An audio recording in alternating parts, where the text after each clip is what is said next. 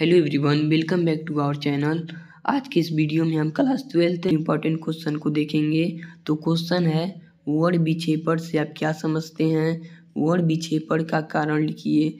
तो बिल्कुल आसान तरीके से मैं आप लोग को बताऊँगा। तो चलिए देख लेते हैं। जब श्वेत प्रकाश को प्रिज्म से गुजारा जाता है तो अपवर्तन के बाद श्वेत प्रकाश अपने अवयवी रंगों में विभाजित हो जाता है, अर्थात सात रंगों की एक पट्टी बन जाती है।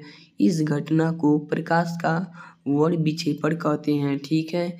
एक बार और देखिए, जिससे आपको आसानी से याद हो जाएगा। जब श्वेत प्रकाश को प्रिज्म से गुजारा जाता है तो अपवर्तन के बाद श्वेत प्रकाश अपने अवयवी रंगों में विभाजित हो जाता है, जिससे सात रंगों की एक पट्टी बन जाती है। तो इस घटना को प्रकाश का वर्ण विक्षेपण कहते हैं।